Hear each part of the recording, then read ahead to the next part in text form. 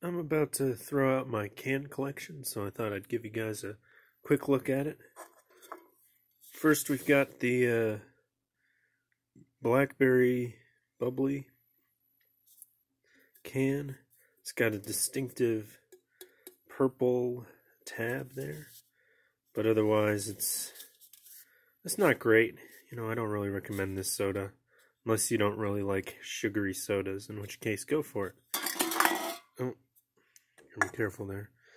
Uh, next, we've got some uh, Fresca. Eh, you know, this is pretty good, but most people don't. I, you know, I haven't heard people really say, "Oh, this is my favorite kind of soda." Um, what else have we got in here?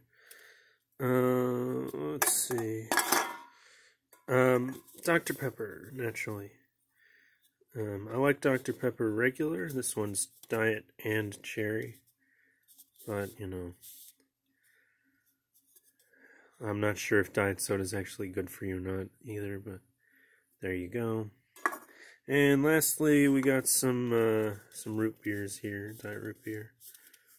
Uh, you know, those are pretty good. I'd, I'd say these are probably the best ones in my collection.